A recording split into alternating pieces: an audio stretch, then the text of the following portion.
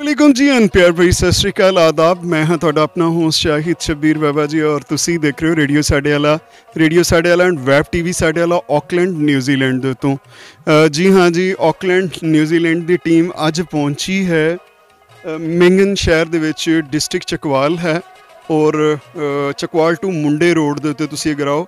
ਮੁੰਡੇ ਤੇ ਮੈਂ ਤੁਹਾਨੂੰ ਦੱਸਦਾ ਚੱਲਾਂ ਕਿ ਮੁੰਡੇ ਮਰਲ, ਮਾੜੀ, ਦੇਵੀ, ਦਾਤਾ, ਬੰਦਾ, ਬਸਾਲੀ ਗਏ, ਬੇਗਾਲ, ਇਹ ਸਾਰੇ ਜਿਹੜੇ ਵੱਡੇ ਨੇ, ਇਹ ਤੁਸੀਂ ਕਹਿ ਸਕਦੇ ਹੋ ਕਿ ਖੋਖਰਾਣਾ ਦੀ ਬਹੁਤ ਵੱਡੀ ਆਬਾਦੀ ਜਿਹੜੀ ਹੈ, ਜਾਂ ਜੀ ਹਾਂ ਜੀ ਖੱਤਰੀਆਂ ਦੀਆਂ ਜਿਹੜੀਆਂ ਨੌ ਗੋਤਾਂ ਨੇ, ਉਹਨਾਂ ਦੇ ਜਿਹੜੇ ਜ਼ਿਆਦਾ ਵਸਨੀਕ ਜਿਹੜੇ ਸਨ, ਉਹ ਇਸ ਇਲਾਕੇ ਦੇ ਸਨ। ਇੱਥੋਂ ਕੁਝ ਫਾਸਲੇ ਦੇ ਉੱਤੇ ਹੀ ਸਰਦਾਰ ਡਾਕਟਰ ਮਨਮੋਹਨ ਸਿੰਘ ਕੋਹਲੀ ਜੀ ਦਾ ਵੀ ਪਿੰਡ ਹੈ ਗੈ ਬੇਗਾਲ।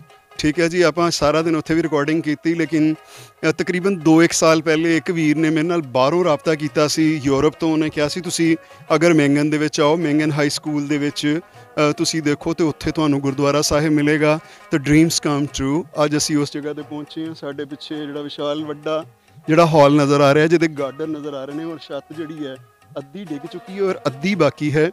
ਔਰ ਫਰੰਟ ਆਫ ਜਿਹੜਾ ਹੈ, ਉਹ ਤੁਸੀਂ ਦੇਖੋ ਕਿ ਬਿਲਕੁਲ ਜਿਹੜੇ ਪ੍ਰੀ ਪਾਰਟੀਸ਼ਨ ਜਿਹੜੇ ਗੁਰੂ ਘਰ ਹੁੰਦੇ ਸਨ ਸੇਮ ਬਿਲਕੁਲ ਉਹੀ ਹੈ ਔਰ ਬਣਿਆ ਹੋਇਆ ਸਾਰਾ, ਕਹਿ ਲਓ ਤੁਸੀਂ ਕਿ ਮਿੱਟੀ ਔਰ ਬ੍ਰਿਟਿਸ਼ ਇੱਟ ਜਿਹੜੀ ਹੈ, ਯਾਨੀ ਕਿ ਬ੍ਰਿਟਿਸ਼ ਦੋਸੇਰੀ ਇੱਟ ਜਿਹੜੀ ਹੈ, ਉਹਦੇ ਨਾਲ ਕੰਸਟਰਕਸ਼ਨ ਹੋਈ ਹੈ, ਸੋ ਇੰਨਾ ਜ਼ਿਆਦਾ ਮਜ਼ਬੂਤ ਨਹੀਂ ਹੈਗਾ।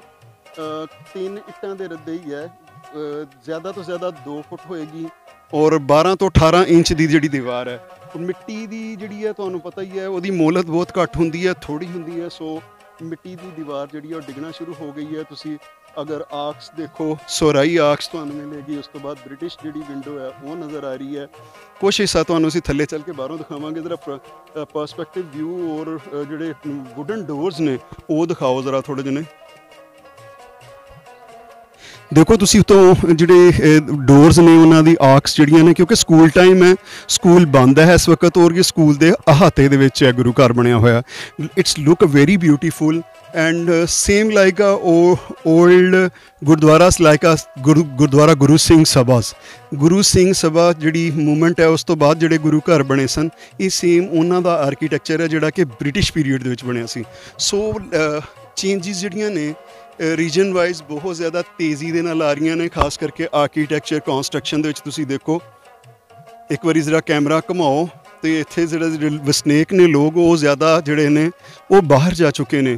ਔਰ ਇੱਥੇ ਦੀ ਜਿਹੜੀ ਹੈ ਕਾਇਆ ਪਲਟ ਚੁੱਕੀ ਹੈ, ਲੋਕ ਬਹੁਤ ਅਮੀਰ ਹੋ ਚੁੱਕੇ ਨੇ।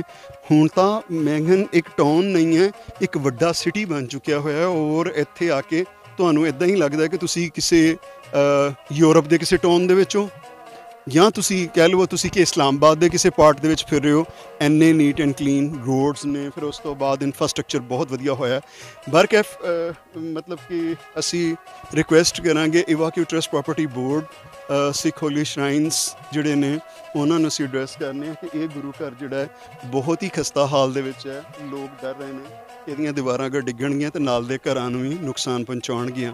ਸੋ ਕਿਉਂਕਿ ਇੱਥੇ ਅੱਜ ਦੇ ਦੌਰ ਦੇ ਵਿੱਚ ਅਗਰ ਦੇਖਿਆ ਜਾਏ ਤੇ ਇੱਕ ਵੀ ਸਿੱਖ ਵਿਪਤੀ ਜਿਹੜਾ ਉਹ ਇਸ ਜਗ੍ਹਾ ਦੇ ਉੱਤੇ ਰਹਾਇਸ਼ ਪਜ਼ੀਰ ਨਹੀਂ ਹੈ ਨਾ ਹੀ ਅਹ, ਕਹਿ ਤੁਸੀਂ ਕਹਿ ਲਵੋ ਕਿ ਲਾਗੇ ਮੁੰਡੇ ਹੈ ਜਿਹੜਾ ਕਿ ਇੱਕ ਪੂਰਾ ਘਰ ਹੁੰਦਾ ਸੀ ਸਿੱਖਾਂ ਦਾ। ਉੱਥੇ ਵੀ ਔਰ ਵੈਂਗਨ ਦੇ ਵਿੱਚ ਵੀ ਅੱਜ ਇੱਕ ਵੀ ਬੰਦਾ ਜਿਹੜਾ ਹੈ ਜਾਂ ਸਿੱਖ ਮਜ਼ਹਬ ਦਾ ਜਾਂ ਹਿੰਦੂ ਮਜ਼ਹਬ ਦਾ ਨਹੀਂ ਰਹਿੰਦਾ। ਤੇ ਸੋ 47 ਦੀ ਵੰਡ ਤੋਂ ਬਾਅਦ ਇਹ ਗੁਰੂ ਘਰ ਜਿਹੜੇ ਨੇ ਉਹ ਉਸੇ ਤਰ੍ਹਾਂ ਵੀਰਾਨ ਪਏ ਹੋਏ ਨੇ। ਥੱਲੇ ਚੱਲਦੇ ਹਾਂ ਅਸੀਂ ਬਾਕੀ ਆਰਕੀਟੈਕਚਰ ਦੇ ਮੁਤਲਕ ਤੁਹਾਨੂੰ ਜਿਹੜਾ ਸੀ ਥੱਲੇ ਚੱਲ ਕੇ ਤੇ ਦਿਖਾਉਨੇ ਹਾਂ ਜੀ। ਜੀ, ਇਹ ਐਕਸਕਲੂਸਿਵ ਰਿਪੋਰਟ ਜਿਹੜੀ ਹੈ ਤੁਸੀਂ ਰੇਡੀਓ ਸਾਡੇ ਵਾਲਾ ਔਰ ਵੈਬ ਟੀਵੀ ਸਾਡੇ ਵਾਲਾ ਆਕਲੈਂਡ ਨਿਊਜ਼ੀਲੈਂਡ ਤੋਂ ਦੇਖ ਰਹੇ ਹੋ ਕਿ ਜਿੱਥੇ ਸੀ ਆਪਾਂ ਸਾਂਝੇ ਕਲਚਰ ਐਂਡ ਹੈਰੀਟੇਜ ਦੀ ਗੱਲ ਕੀਤੀ ਸੀ, ਉੱਥੇ ਜਿਹੜੇ ਵਿਛੜੇ ਗੁਰੂ ਧਾਮ ਨੇ, ਜਿਹੜੇ 47 ਤੋਂ ਬਾਅਦ ਸੰਦ- ਸੰਗਤ ਤੋਂ ਵਿਛੜ ਗਏ ਸਨ 75 ਵਰੇ ਹੋ ਗਏ ਨੇ ਤੇ ਐਟਲੀਸਟ ਉਹ ਚੀਜ਼ਾਂ ਉਹ ਚੀਜ਼ਾਂ, ਉਹ ਕਾਰ, ਉਹ ਗੁਰੂ ਘਰ ਉਹ ਮੰਦਰ ਗੁਰਦੁਆਰੇ ਜਾਂ ਧਰਮਸ਼ਾਲਾ ਸਾਰਾ ਕੁਝ ਜਿਹੜਾ ਹੈ ਉਹ ਟਾਟੇਰੀ ਹੋਣਾ ਸ਼ੁਰੂ ਹੋ ਗਏ ਨੇ ਕਿਉਂਕਿ ਮਿੱਟੀ ਔਰ ਇੱਟ ਦੀ ਜਿਹੜੀ ਬੁਨਿਆਦ ਹੈ ਉਹ ਇੰਨੀ ਜ਼ਿਆਦਾ ਨਹੀਂ ਹੁੰਦੀ ਜਿਸ ਤਰ੍ਹਾਂ ਕਿ ਆਪਾਂ ਤੁਹਾਨੂੰ ਥੋੜੀ ਦੇਰ ਪਹਿਲੇ ਦੱਸਿਆ ਕਿ ਥੱਲੇ ਚੱਲ ਕੇ ਤੁਹਾਨੂੰ ਅਸੀਂ ਆਰਕੀਟੈਕਚਰ ਬਾਰੇ ਦੱਸਨੇ ਹਾਂ। ਤੁਸੀਂ ਦੇਖੋ ਕਿ ਇੱਥੋਂ ਅਸੀਂ ਤੁਹਾਨੂੰ ਛੱਤ ਦੇ ਉੱਤੋਂ ਦਿਖਾਇਆ ਕਿ ਵੀ ਇਹ ਕਿੰਨੇ ਹੈਵੀ ਕਿਸਮ ਦੇ ਗਾਰਡਰ ਜਿਹੜੇ ਨੇ ਉਹ ਪਏ ਹੋਏ ਨੇ ਔਰ ਉਸ ਤੋਂ ਬਾਅਦ ਵਿੰਡੋਜ਼ ਜਿਹੜੀਆਂ ਨੇ, ਦਰਵਾਜ਼ੇ ਅਸੀਂ ਉਸ ਸਾਈਡ ਤੋਂ ਤੁਹਾਨੂੰ ਪੂਰੇ ਨਹੀਂ ਦਿਖਾ ਸਕੇ ਕਿਉਂਕਿ ਸਕੂਲ ਇਸ ਵੇਲੇ ਬੰਦ ਹੈ ਔਰ ਸਕੂਲ ਦਾ ਪਾਰਟ ਹੈ ਗੁਰੂ ਘਰ। ਤੇ ਵਧੀਆ ਲੱਗ ਰਿਹਾ ਕਿ ਇੱਕ ਹੋਰ ਨਵੀਂ ਖੋਜ ਜਿਹੜੀ ਹੈ ਸਾਡੀ, ਉਹ ਸਾਹਮਣੇ ਆਈ ਹੈ। ਠੀਕ ਹੈ ਜੀ।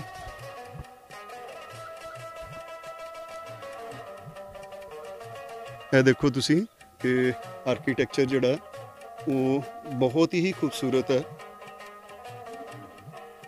ਬਿਲਕੁਲ ਯੂਨੀਕ ਹੈ। ਬ੍ਰਿਟਿਸ਼ ਪੀਰੀਅਡ ਦਾ ਹੈ। ਠੀਕ ਹੈ ਜੀ।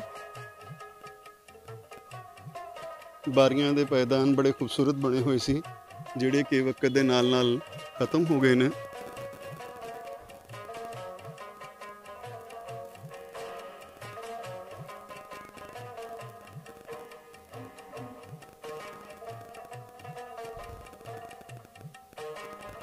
Gurdwara Sahib, Mangan city, district Chakwal. North west Punjab Pakistan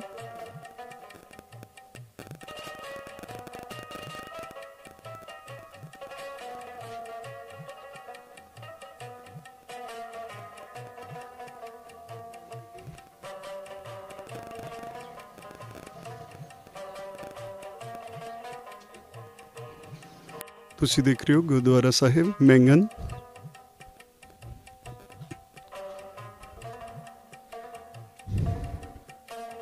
ਇੱਕ ਹਾਲ ਹੈ, ਤਕਰੀਬਨ ਕੋਈ 40 ਤੋਂ 50 ਫੁੱਟ ਲੰਬਾ ਹੈ, ਠੀਕ ਹੈ ਜੀ। ਔਰ ਤਕਰੀਬਨ 15 ਤੋਂ 20 ਫੁੱਟ ਜਿਹੜਾ ਉਹ ਚੌੜਾ ਹੈ।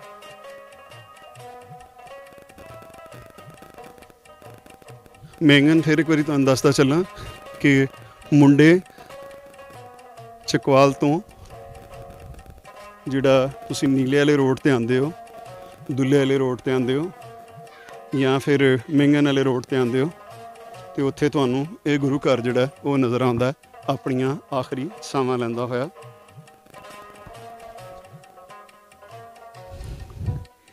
ਇਹ ਸਾਡੀ ਇੱਕ ਨਵੀਂ ਡਿਸਕਵਰੀ ਹੈ, ਸਮਝ ਲਓ ਤੁਸੀਂ।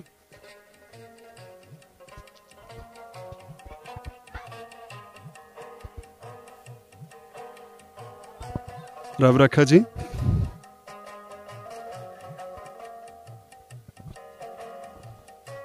ਮੈਂ ਹਾਂ ਤੁਹਾਡਾ ਆਪਣਾ ਹੋਸਟ ਸ਼ਾਹਿਦ ਸ਼ਬੀਰ ਬਾਬਾ ਜੀ ਔਰ ਤੁਸੀਂ ਦੇਖ ਰਹੇ ਹੋ ਰੇਡੀਓ ਸਾਡੇ ਵਾਲਾ ਐਂਡ ਵੈਬ ਟੀਵੀ ਸਾਡੇ ਵਾਲਾ all rights are reserve by radio ਸਾਡੇ ਵਾਲਾ ਐਂਡ ਵੈਬ ਟੀਵੀ ਸਾਡੇ ਵਾਲਾ लिहाजा no one have to right to download this video to share with their own name or their page if you wanna share then you use our real link all copyrights are reserved by radio sadela and shahid shabir official rab rakha